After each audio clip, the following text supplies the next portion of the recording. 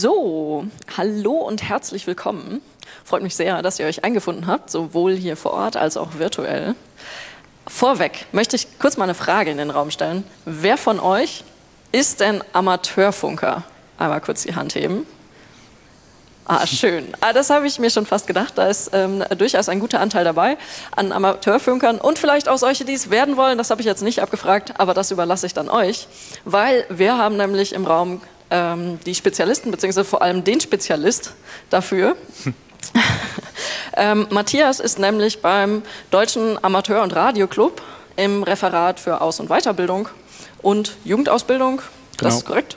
Ja, genau. Und äh, da hat sich im letzten Jahr was sehr Schönes getan. Und zwar habt ihr euch nämlich mal hingesetzt und ähm, die Bundesnetzagentur dabei sehr tatkräftig unterstützt, einen neuen Fragenkatalog zu entwerfen. Ja, nicht letztes Jahr, Jahre. Okay, okay. Die Geschichte kommt dann im Detail noch. Ja. Ähm, ich freue mich jedenfalls sehr, dass du da bist und uns ein bisschen zu der Geschichte etwas erzählen möchtest. Und ich freue mich auch, ähm, dass Marei mit an Bord ist. Die habt ihr in anderen Vorträgen schon gehört und gesehen. Äh, deswegen nur ein bisschen dazu. Ich kenne Marei aus dem Studium und sie ist vor allem die, diejenige, die man fragt, wenn es um technische Sachen bezüglich Textsatz etc. geht. Oder eigentlich ich frage dich bei allen Sachen.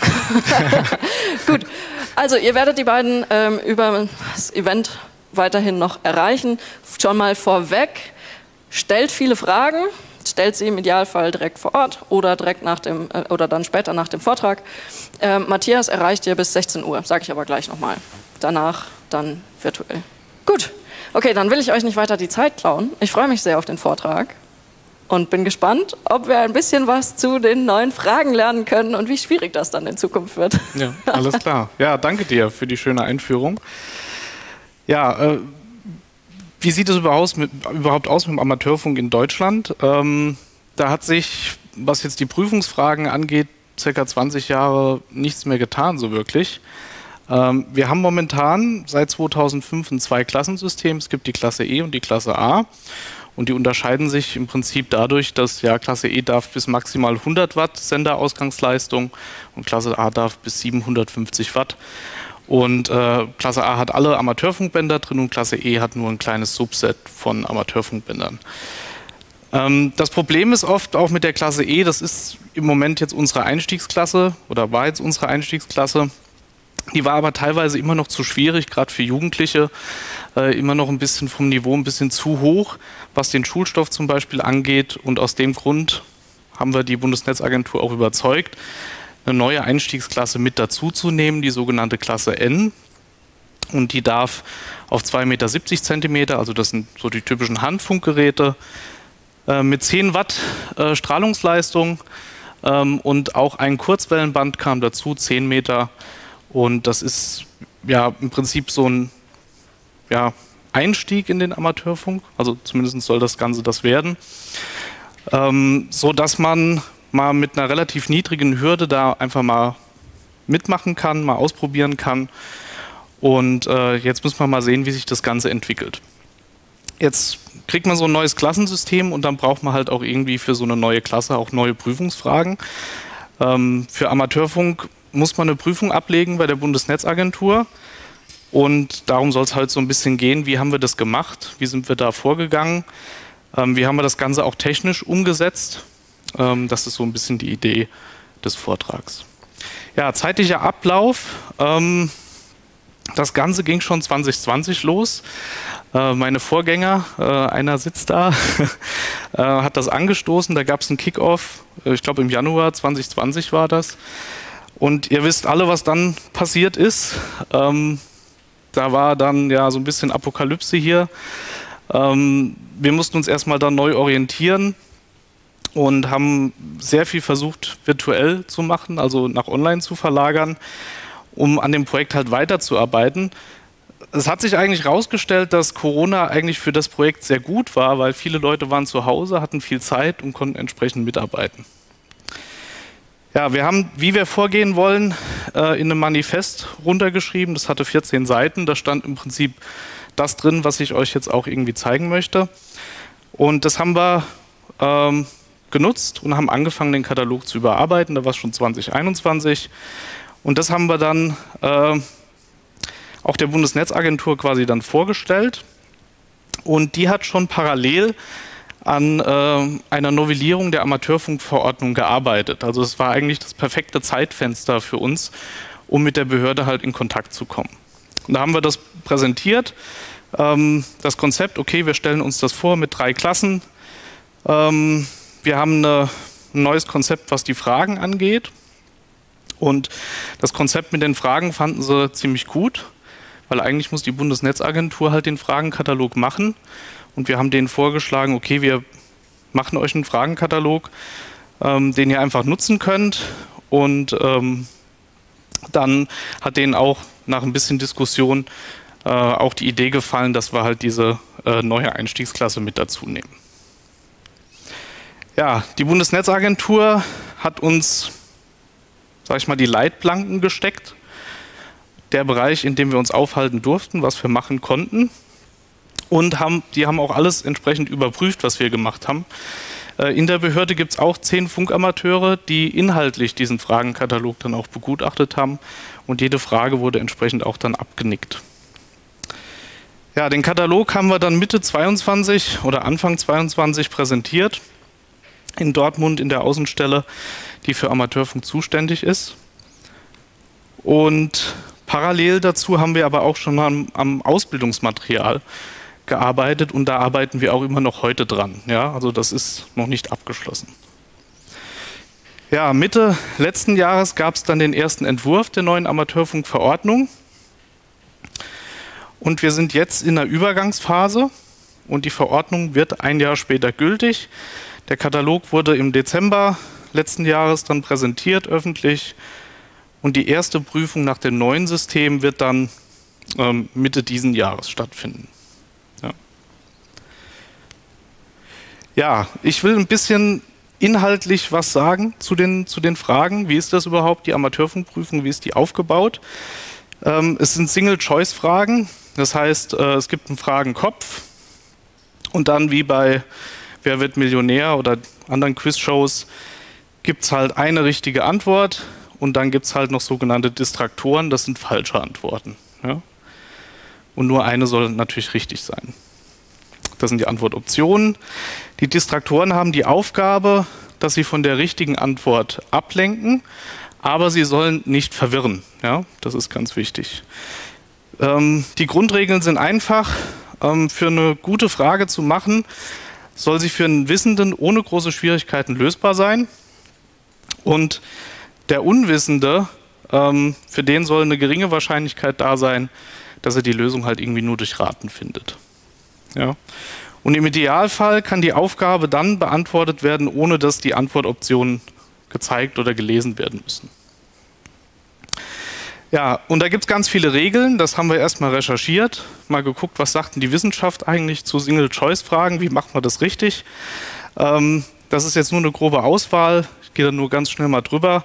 Ähm, ja, die richtige Antwort muss korrekt sein. Das ist leider im aktuellen Katalog nicht der Fall. Da gibt es oft auch richtige Antworten, die falsch sind. Und äh, die richtige Antwort muss aber auch eindeutig sein. Ja? Also es gibt auch Distraktoren, die sind so halbrichtig und das ist auch nicht besonders toll. Ähm, Gehe da mal ein bisschen weiter noch. Genau, das ist das gleiche im Prinzip. Antwortoptionen sollen klar unterscheidbar sein, das ist so ähnlich.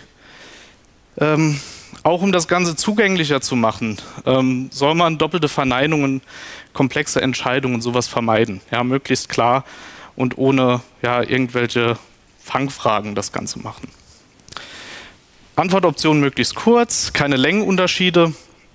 Es ist statistisch so, momentan im Katalog, dass die längste Antwort meistens dann auch die richtige ist. Ähm, das ist so ein beliebter Fehler, der halt einfach beim Fragendesign passiert. Und das finde ich auch interessant, deswegen habe ich es mal mitgenommen. So absolute Begriffe, wie zum Beispiel ja niemals, immer, alle, kein oder nur, ähm, das soll man vermeiden, weil das meistens falsche Antworten sind. Genauso moderate Begriffe wie zum Beispiel jetzt in der Regel, das weist eigentlich immer auf eine richtige Antwort hin. Ja? Zeige ich euch auch mal Beispiele, habe ich ein paar mitgebracht von alten Fragen. Ähm, zum Beispiel hier mit in der Regel, das ist sogar ein Q hier, ähm, weil das in der richtigen Antwort und in der Fragestellung vorkommt. Aber auch hier, ne, in der Regel und ähm, in den Katalogen ist A immer die richtige Antwort. Ja. Äh, andere Lösungshinweise, zum Beispiel hier nur, ähm, ja, es kommt sogar viermal vor. Das heißt, B und C kann ich wegstreichen, habe ich schon eine 50-50 Chance. Ja, das funktioniert eigentlich immer ganz gut. Ja, ähm, einfach und klar, ja, auch nicht immer der Fall, sieht man jetzt auf der Seite hier. Das sind eigentlich zwei Fragen in einer und man muss erstmal einen ganzen Aufsatz lesen, also für jede Antwort einen ganzen Aufsatz, um überhaupt mal zu verstehen, um was es geht. Und dann noch muss man noch an den Details gucken, was ist jetzt eigentlich richtig. Ja? Also es ist ganz, ganz schlechte Frage nach unserem Manifest. Ja? Ähm, genau, und da gibt es noch so ein paar andere Dinge, wie zum Beispiel hier Abgrenzung des Traktor. Ähm, wie soll ich jetzt im Funkverkehr verhindern, dass ähnlich lautende Rufzeichen verwechselt oder missverstanden werden können? Dies wird verhindert durch die Nutzung eines Buchstabieralphabets, also das NATO-Alphabet. Ja. Aber D sagt auch mehrmalige Wiederholungen. Ja. Also ich wäre ja blöd, wenn ich nicht, äh, wenn mich das Gegenüber jetzt nicht versteht, dass ich dann nicht meine, meinen Ruf nochmal wiederhole. Ja. Ähm, das ist also so halb richtig. Und das sind alles so Dinge, die haben wir versucht äh, zu vermeiden. Und ich denke, das ist uns auch eigentlich ganz gut gelungen. Ja? Also das Ergebnis ist öffentlich. Äh, könnt ihr auf bnetza.de slash Amateurfunk-Fragenkatalog ähm, entsprechend euch mal angucken, was wir daraus gemacht haben. Ja, also wie sind wir vorgegangen? Wie macht man sowas? Ähm, vor allem in dieser Pandemiesituation erstmal das Manifest geschrieben, wie wir vorgehen wollen, aber wir haben auch ein Tool gebraucht und das wollen, wollen wir heute zusammen ein bisschen mal zeigen, wie man, wie man das machen kann. Ähm, der Überarbeitungsprozess, das habe ich nicht allein gemacht, sondern ich habe ein ganz großes Team gehabt. Ähm, 75 Mitwirkende waren dabei, über 10.000 Ehrenamtsstunden wurden geleistet. Ähm, ja, wie lief das ab? Ähm, wir haben hier ein Tool, kommen wir gleich drauf. Und äh, wir haben ganz viele Big Blue Button Sessions gemacht und entsprechend die Prüfungsfragen diskutiert in verschiedenen Teams. Für die verschiedenen Prüfungsbereiche gab es verschiedene Teams, ja, für betriebliche Kenntnisse, für Vorschriften, aber auch für die komplette Technik. Digitaltechnik ein eigenes Team. Ähm, ganz viele Reviewer, die nochmal das kontrolliert haben, ähm, was wir oder was die Teams erarbeitet haben. Und dann auch noch so ein bisschen technisches Team, ähm, ja, um LaTeX, ähm, Tooling und auch noch ein Big Picture Team, komme ich jetzt gleich drauf. Ja, ein wichtiger Punkt, zeigen wir auch im Detail, war die Digitalisierung der Bilder. Wir hatten, glaube ich, so 500, 600 Bilder am Anfang, noch teilweise Tuschezeichnungen, die wir übernommen haben. Die musste man erstmal digitalisieren. Dann haben wir den Review-Prozess gehabt, also jede Frage war die Regel, muss mindestens von drei Leuten nochmal überprüft werden. Meistens waren es dann mehr. Ähm, wir haben 1750 Fragen abgegeben und es wurden über 9000 Reviews gemacht. Ja, der Big Picture-Prozess, ähm, da haben wir dann Fragen meistens zwischen den Klassen hin und her geschoben, sodass das auch vom Lehrplan dann entsprechend Sinn ergibt. Und das war ein kleiner Kreis von, von fünf Mitarbeitern. Und dann schlussendlich die Revision der BNetzA, habe ich schon gesagt, zehn Mitarbeitende der Behörde haben das nochmal kontrolliert, was wir auch erarbeitet haben. Ja, wie macht man das in der Pandemie? Ähm, unsere Vorgänger, die das vor 20 Jahren gemacht haben, die haben das mit Word und Excel gemacht und haben sich irgendwie da per E-Mail den Fragenkatalog hin und her geschickt wenn da 75 Leute gleichzeitig dran arbeiten, skaliert sowas natürlich nicht. Und es war von Anfang an klar, dass wir ein Tool brauchen, eine Software dafür. Ja, die erste Idee war im Prinzip, ja, können wir sowas selber bauen? Ja klar, wir sind Funkamateure, wir können das. Ähm, es ging dann auch so los, wurde mal ein Tool im Prinzip auf, aufgesetzt, haben ein paar Leute dran programmiert aber nach einigen Wochen ging es halt nicht voran, weil man dann erstmal sich zum Beispiel sowas wie mit, mit User-Login oder so beschäftigt hat und gar nicht zum eigentlichen Thema kam, nämlich Fragen zu bearbeiten. Und das war dann so der Zeitpunkt, glaube ich, auch wo ich in das Projekt kam. Und ähm, ich habe dann gesagt, naja, was gibt es denn schon für Software. Was können wir da verwenden? Und da sind wir auf ein Tool gekommen, das nennt sich Directus. Ähm, wer kennt das? Ah, okay. Kann ich nur empfehlen. Es ist ein Datenbanksystem ähm, oder ein Datenbank-Frontend, sage ich jetzt mal, ähm, mit dem man eine Datenbank super konfigurieren kann, super einfach, ähm, aber auch gleich noch eine, eine REST-API ähm, dazu bekommt, automatisiert. Und somit kann man relativ schnell ähm, so einen Datensatz im Prinzip importieren und bearbeiten. Wir haben quasi die Fragen da drin überarbeitet mit den Teams. In dem Tool sind aber auch die Lerninhalte für unsere Ausbildungsplattform, das zeige ich dann noch am Ende. Und auch die Reviews, also unsere internen Reviews wurden mit dem Tool gemacht, aber auch die Bundesnetzagentur hat dieses Tool verwendet, um die Fragen entsprechend zu begutachten. Ja, und dann haben wir noch sehr viel Python-Software, die, wo dann die Idee war, sage ich mal, dass dann LaTeX-Code generiert wird. Und dann haben wir einen kleinen Aufruf gestartet, wir brauchen Hilfe, wir brauchen jemand mit LaTeX-Know-how. Und dann haben wir einen Hint bekommen. Und äh, ja, dann kam Marei zu dem Projekt hinzu. Und jetzt würde ich einfach mal hier dir das Mikrofon und den Pointer übergeben. Äh, ja, das trifft ganz gut. Ich weiß, wir haben gestern kurz überlegt, wer schuld ist, dass ich jetzt arbeite, dieses Ding stecke. Und äh, weil es war irgendwie so, dass über einen Mikroblogging-Dienst eine Frage kam mit, wir bräuchten LaTeX-Hilfe und wer hätte denn Zeit?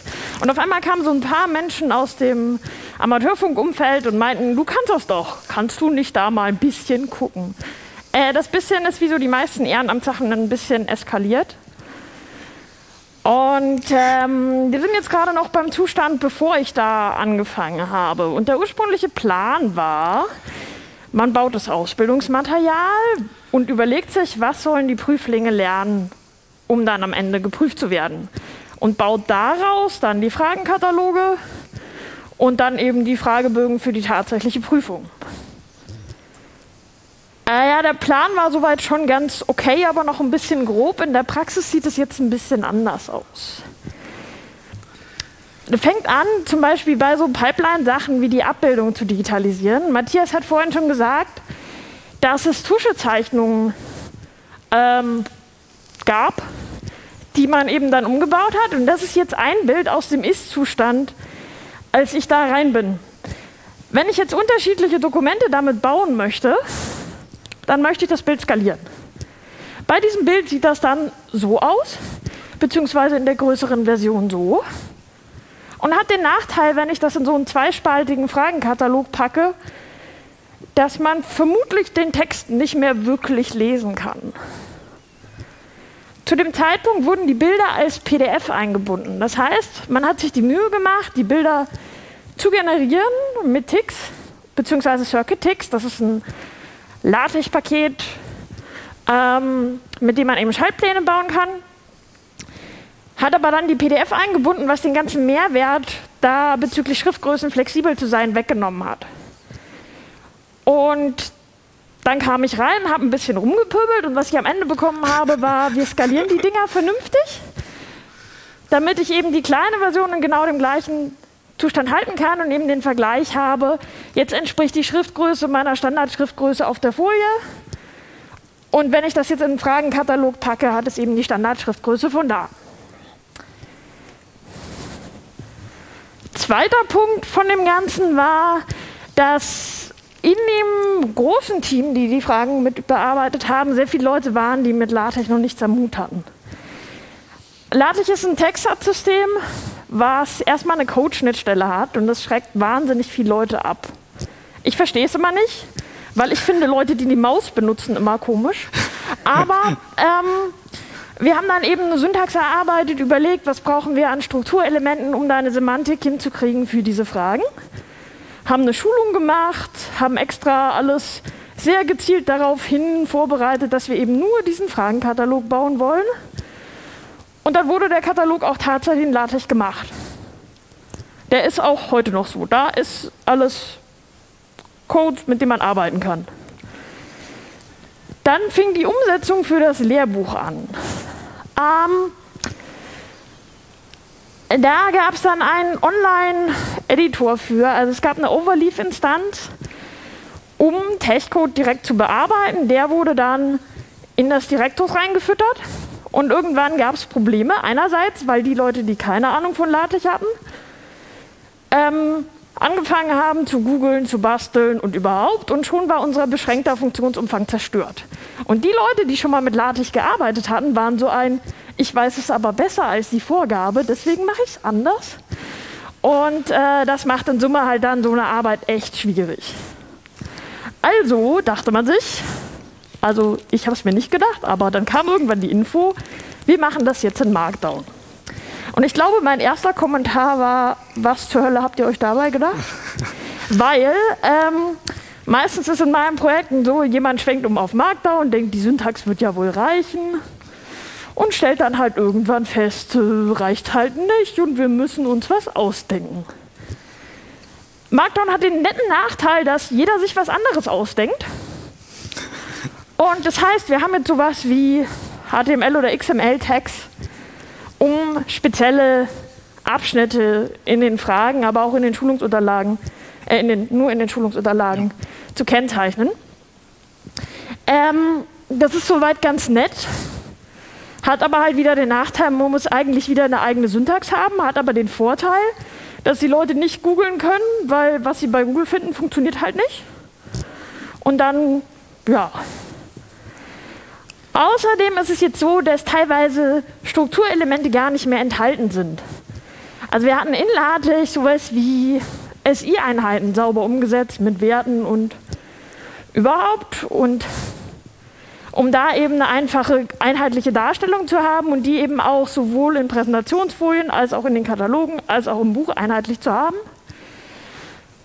Und jetzt laufen halt irgendwelche Regular Expressions darüber, die dann versuchen, Einheiten zu erkennen. Das hat jetzt wieder den Nebeneffekt, dass für die Leute, die LaTeX sprechen, äh, zum Beispiel sowas bei rauskommen kann.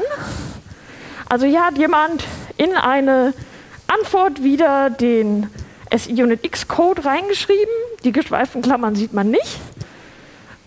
Aber es ist halt definitiv nicht das, was man erwarten würde.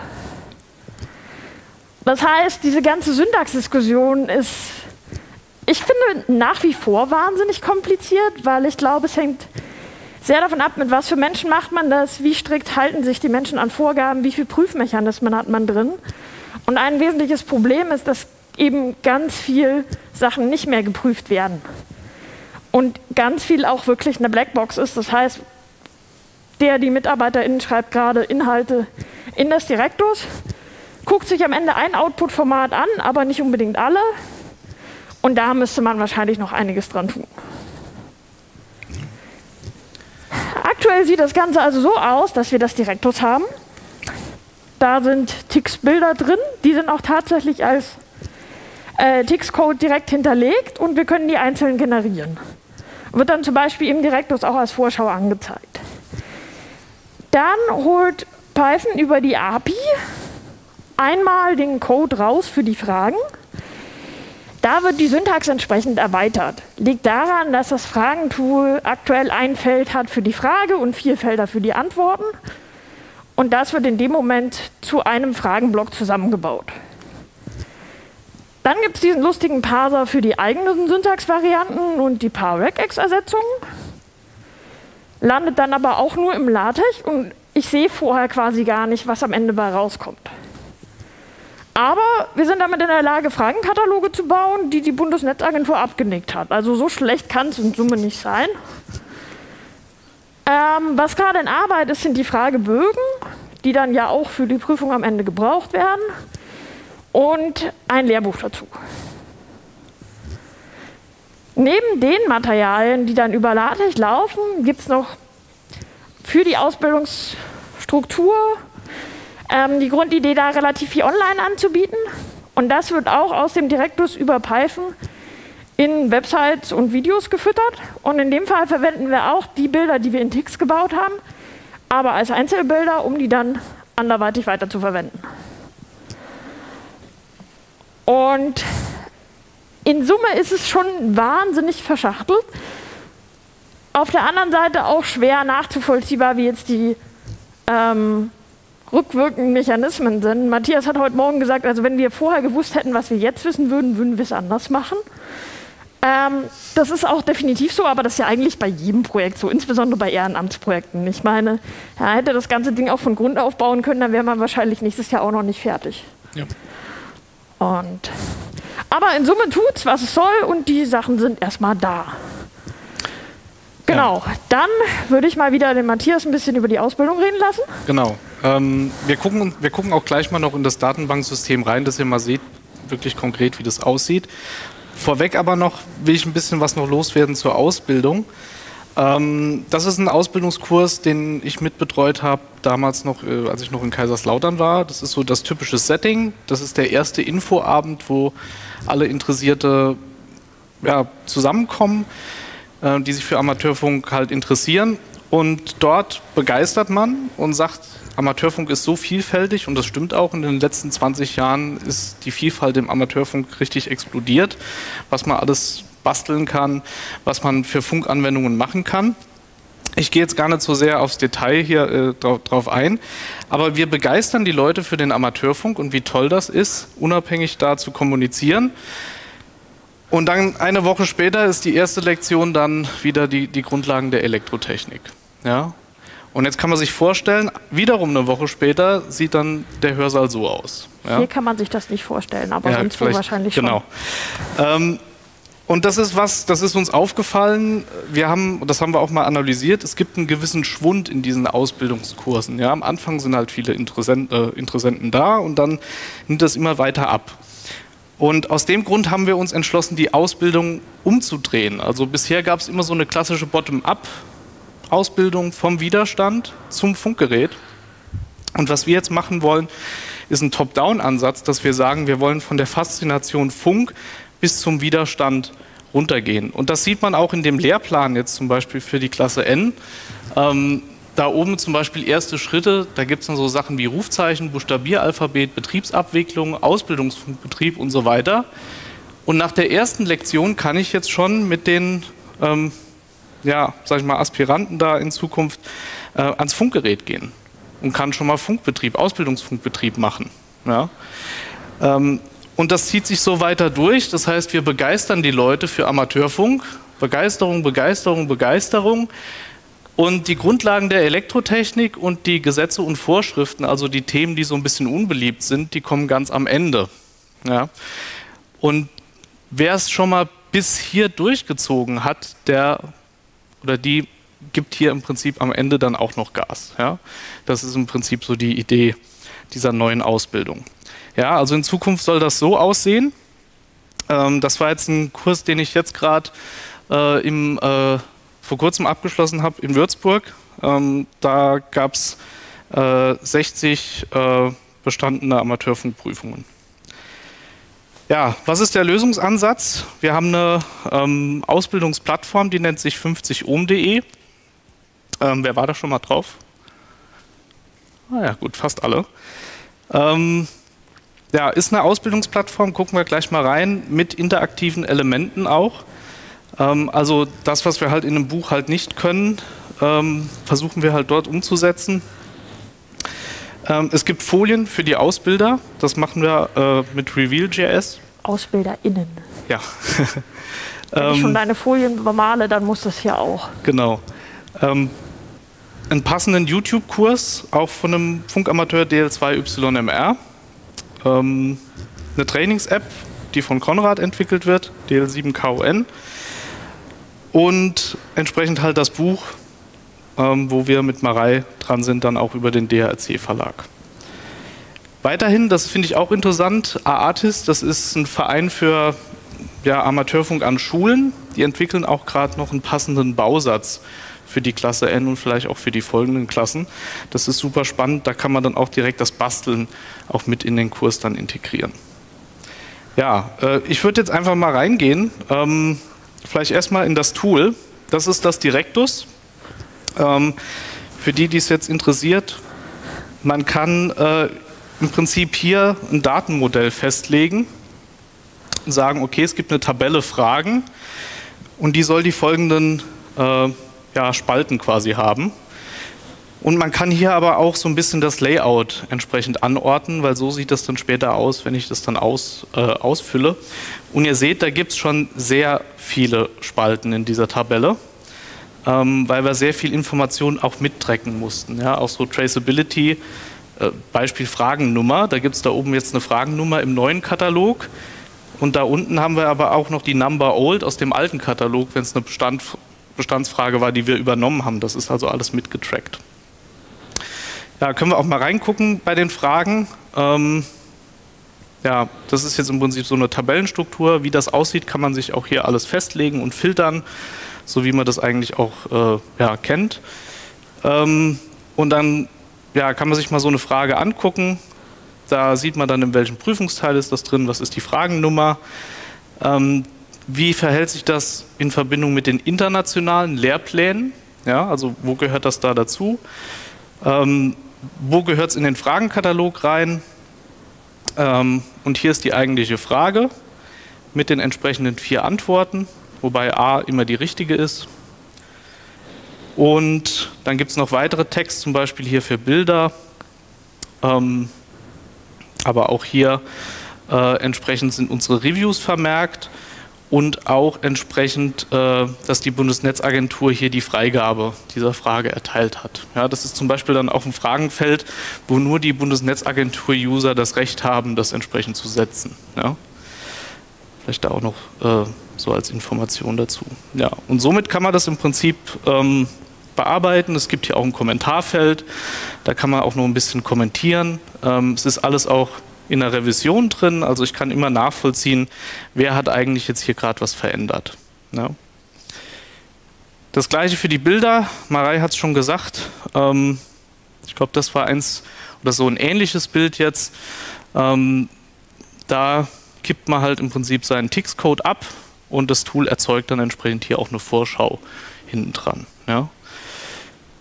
Genau. Ähm, ja, was gibt es noch zu zeigen? Das ist ja im Prinzip der, der Katalog. Ähm, mal hier, das ist die URL, wo er den dann auch bekommt. Äh, bei der Bundesnetzagentur entsprechend dann zum, zum Download. Finde ich jetzt interessant, weil eigentlich hätte ich jetzt hier einen Link erwartet. Da ist er. Das ist im Prinzip das, was dann dabei herausfällt. Bundesnetzagentur hat natürlich dann vorne und hinten dran noch ein bisschen einleitenden Text gepackt, aber ab hier ist im Prinzip dann LaTeX-Code. Ja. Und so sieht das Ganze aus, zweispaltiges Format. Und hier sind auch die Fragen für alle Amateurfunkklassen entsprechend drin. Und wenn man ein bisschen weiter scrollt, dann erscheinen hier natürlich dann auch mal zwischendurch mal Bilder. Und ähm, Genau, das ist so ein Beispiel von so einem Transceiver-Display. Ja. Gut, das ist der Katalog. Äh, wir haben aber auch noch die Ausbildungsplattform 50ohm.de. Äh, die Anwesenden waren ja schon mal drauf. Ähm, deswegen muss ich vielleicht jetzt gar nicht zu sehr ähm, jetzt alles zeigen, aber die Inhalte, die hier auf der Seite sind, sind natürlich auch in dieser Datenbank, in diesem Direktus mit drin. Und da gibt es jetzt hier zum Beispiel ja, die verschiedenen Kapitel. Und das Interessante ist auch hier, ähm, ich gehe mal auf die Abschnitte. Die Abschnitte sind so geschrieben, dass sie zu einer bestimmten Klasse zugeordnet werden und je nachdem, welche Klasse ich erreichen möchte, baut sich das Ausbildungsmaterial automatisch entsprechend zusammen und man bekommt die Abschnitte, die man dann für die entsprechende Klasse auch braucht. Ähm da haben wir zum Beispiel jetzt das Thema Sprachsignale. Und das ist jetzt im Prinzip dieser Markdown-Code. Und es ist tatsächlich so, dass unsere ja, Autorinnen äh, ja, entsprechend ähm, mit dem Markdown tatsächlich besser klarkommen als mit der LaTeX-Syntax. Aber wie Marei schon gesagt hat, das macht uns dann natürlich dann wieder Probleme an anderen Stellen, wenn wir zum Beispiel eine Einheit oder den Regex für die Einheit nicht haben, die jetzt auf. Du hast ein gutes Beispiel da. Du hast unten 300 bis 270 Hertz und die Zeile drunter ist es mit von bis Strich oder beziehungsweise da ist genau. ein Bindestrich drin. Das heißt, Sachen einheitlich zu haben, ist halt deutlich schwieriger, wenn ich nicht irgendeine Form von Syntax dafür habe. Ja.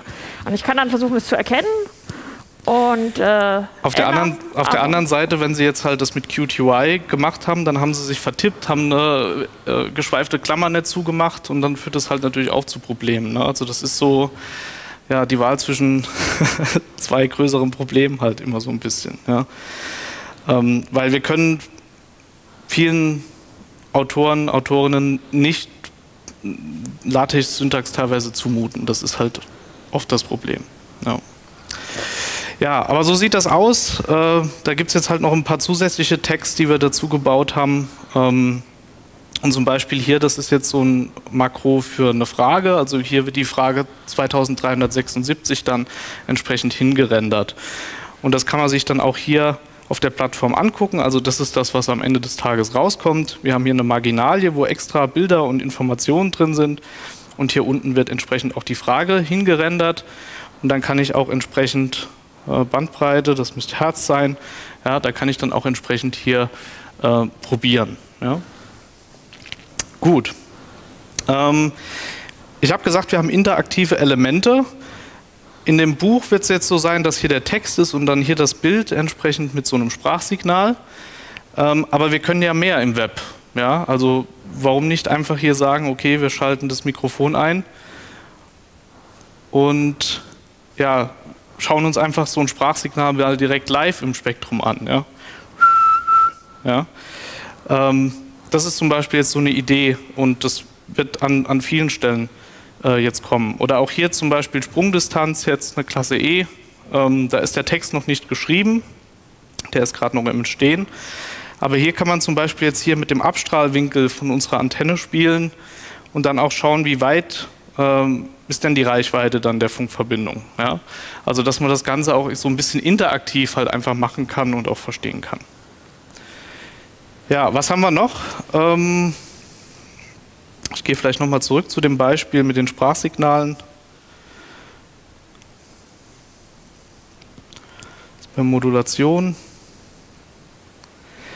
Wir haben hier oben noch so zwei Buttons, die sind relativ interessant noch. Äh, wenn ich hier drauf klicke, komme ich zu einem YouTube-Kurs, was ich vorhin schon erwähnt habe, und genau zu der Minute, wo dieses Thema dann auch entsprechend behandelt wird. Ja, das heißt, wenn ich es nach dem Lesen nicht verstanden habe, dann kann ich mir es nochmal im Video angucken. Und das ist teilweise auch so ein bisschen anders noch erklärt in den Videos, damit man da einfach nochmal eine, eine andere Sichtweise teilweise auf die Dinge bekommt. Und da gibt es noch einen zweiten äh, Button hier, das ist dann für die Folien für die Ausbilder. Da kann ich mal drauf gehen. Und hier kann ich jetzt im Prinzip, was muss ich drücken? F, ne? Genau, jetzt bin ich im Präsentationsmodus und kann dann entsprechend auch hier äh, ja, jetzt eine Amateurfunk, so einen Amateurfunk-Ausbildungskurs dann, dann durchführen. Und auch hier hoffe ich, dass Lars das gemacht hat. Hier ist noch nicht drin, okay, schlechtes Beispiel. Aber hier kann ich dann trotzdem auch die, die Prüfungsfragen dann mit den Teilnehmenden durchgehen. Und die interaktiven Elemente sind natürlich dann auch, weil das auch Web ist, auf den Folien entsprechend dann mit drauf. Gut.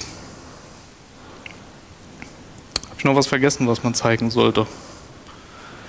Ich glaube nicht. Dann würde ich vorschlagen, ja, was sind eure Fragen dazu?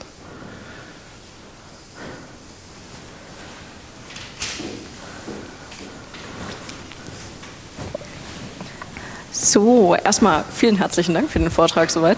Wir sind natürlich noch nicht fertig, aber ihr dürft ihr gerne schon mal einen großen Applaus geben. Gut. Naja, also, also erfahrungsgemäß braucht das im Publikum immer ein bisschen zum Sacken. Ja. Ähm, deswegen, wenn das okay ist, würde ich direkt erstmal mit einer Frage loslegen. Und zwar erstmal vielen herzlichen Dank. Äh, ich habe sehr viel gelernt, unter anderem dazu, wie man sinnvoll Multiple-Choice-Questions, also in dem Fall nicht Multiple, sondern Single-Choice-Questions stellt. Ähm, und auch äh, wie man mit so Altlasten umgeht und dann aber auch ähm, sich selber gut neue schafft. Jetzt wäre meine Frage genau daran anknüpfend. Äh, was ist denn in 20 Jahren, wenn dann eure Nachfolger ähm, das System wieder übernehmen? Ja. Habt ihr da von vornherein auf Wartbarkeit ge geachtet? Ähm, ist das irgendwie speziell mit in die Anforderungen mit eingeflossen? Macht es das komplizierter? Ja. Ähm, erstmal, wir wollen keine 20 Jahre mehr warten. Ja? Also es wäre fatal für den Amateurfunk, wenn wir jetzt nochmal 20 Jahre warten. Ähm, die Welt dreht sich immer schneller und wir müssen eigentlich immer mithalten. Und deswegen ist es auch mit der Bundesnetzagentur abgeklärt, dass wir uns einmal im Jahr zusammensetzen, auf den Katalog gucken und schauen, okay, was läuft gut, was läuft schlecht. Ähm, wo gibt es neue Themen? Wo gibt es Themen, die wir vielleicht jetzt wieder rausnehmen können? sodass es jetzt da einen kontinuierlichen Prozess gibt. Die ganze Zeit war das so, der Katalog ging 2005 quasi online und alle Fragen, die dann obsolet wurden, wurden rausgestrichen. Und die waren aber immer noch im Katalog drin. Äh, es gab eine zusätzliche Liste von nicht gültigen Fragen, die gepflegt wurde.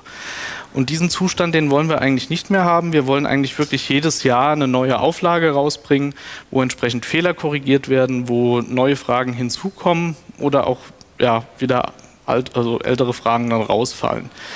Und dafür braucht man natürlich irgendwie Wartbarkeit. Ähm, ein Problem ist halt immer so im, im Ehrenamt, äh, wie, wie kriege ich das hin? Und das ist natürlich eine, eine große Herausforderung weil jetzt natürlich auch bei uns diese Verantwortung einfach in, im Referat liegt.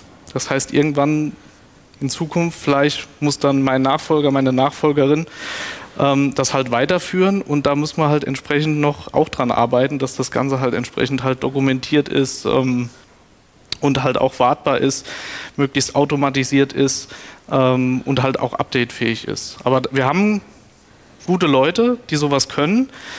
Man muss halt nur schauen, es ist, es ist Ehrenamt, also man muss halt gucken, okay, was passiert jetzt, wenn die Person wegfällt, weil andere Commitments, Arbeit oder Familie, ähm, da muss man sich halt irgendwie immer so durchnavigieren. Das ist halt nicht so einfach. Ja. Ja, umso mehr freut es mich natürlich, dass man in der Software-Community dann auch immer noch Hilfe findet. Ja, da bin ich auch sehr dankbar. Ohne Marei hätten wir das tatsächlich alles nicht hingekriegt, ähm, weil ja, wenn wir ein Problem haben mit Tech, dann wird gegoogelt, dann guckt man auf Stack Overflow äh, und dann findet man halt wirklich eine bescheuerte Lösung und das, das führt halt zu nichts. Man findet ja. teilweise auch gute Lösungen, aber es ist tatsächlich, ähm, man findet halt nicht die Lösung, die auf das angepasst ist, was sie schon hatten. Und das ja. war ein bisschen das Hauptproblem. Aber ich glaube tatsächlich bezüglich Wartbarkeit ist halt einfach auch jetzt auf, auf Open Source Tooling zu setzen und da Pipelines zu haben, die ähm, eben möglichst viel Automatisierung machen. Ja. Und äh, wir haben im Prozess halt auch gesehen, was definitiv Tests braucht und was definitiv ähm, Mechanismen braucht, um da eine Prüfung zu haben. Und ich glaube, das vereinfacht es langfristig natürlich, weil ich zumindest dann relativ schnell merken kann, dass es ein Problem gibt. Ja, sehr schön. Okay, dann äh, werfe ich mal einen vorsichtigen Blick in die Runde. Hat denn jemand Fragen? Ich flitze.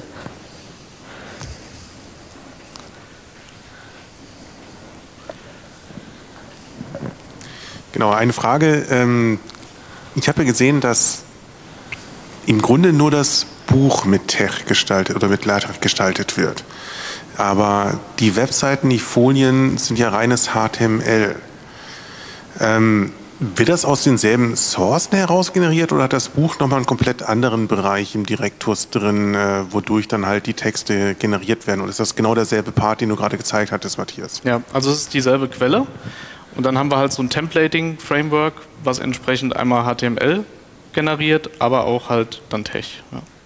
Aber es gibt zwei Eingabefelder. Du hast ein Eingabefeld für Fließtext fürs Buch und den möchtest du ja in der Folie nicht haben. Genau, also wo, es eine Trennung gibt natürlich, ist halt ähm, Fließtext für, für Buch und die Plattform selbst, aber auch die Folien. Da gibt es nochmal ein extra Feld. Also das ist getrennt. Ja. Man könnte theoretisch auch Tech-Folien draus bauen, dann noch zusätzlich, wenn man das möchte. Vielleicht. Mal gucken. ja. Dann reiche ich mal direkt weiter. Dankeschön. Mich würde interessieren, wie so äh, das Feedback ist ähm, aus dem Verein. Ähm, ob da was zurückkommt, äh, bei uns war jetzt äh, bei der letzten Versammlung von unserem Ortsverein der, der Vorstand mal mit da. Und dem haben wir halt auch auf den Weg gegeben, dass wir das, also wir sind richtig begeistert von der ganzen Geschichte, was ihr da durchgezogen habt. Das ist richtig genial. Und ich wollte einfach mal hören, ob es da auch eine Wertschätzung von anderen äh, eben gibt, wie da so das Feedback ist im Moment.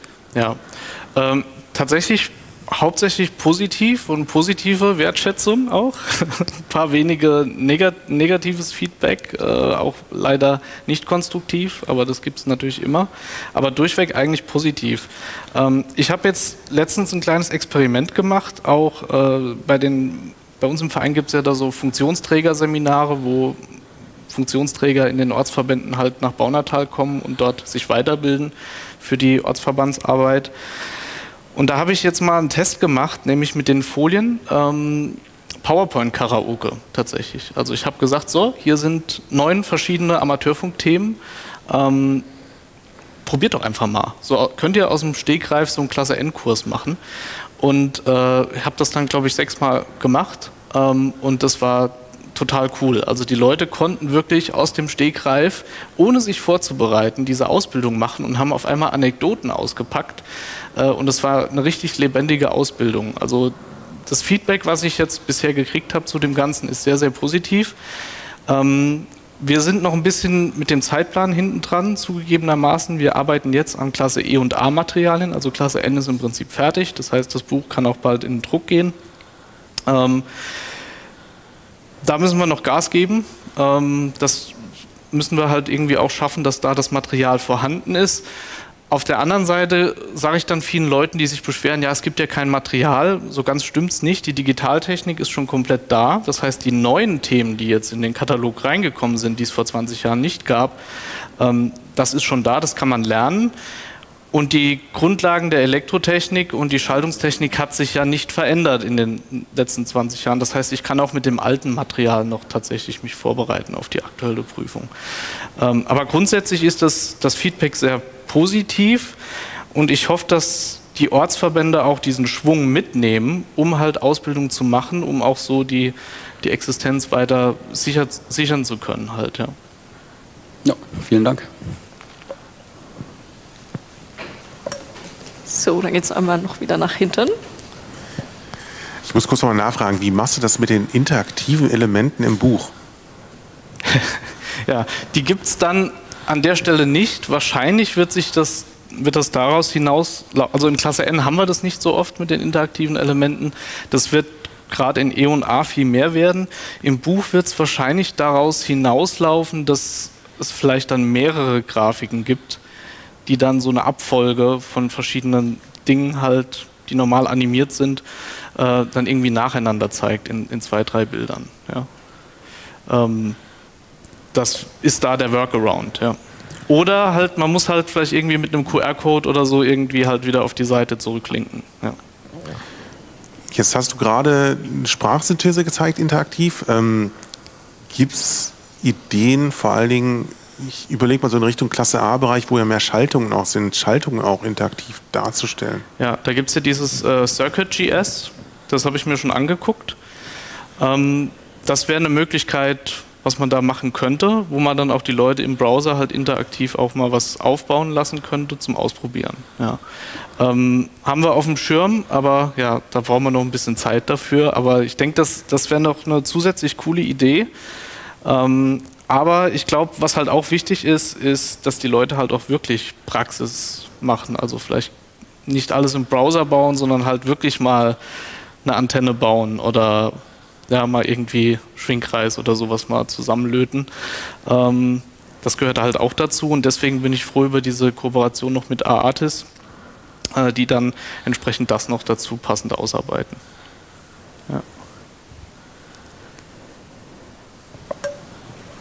Gibt es noch weitere Fragen?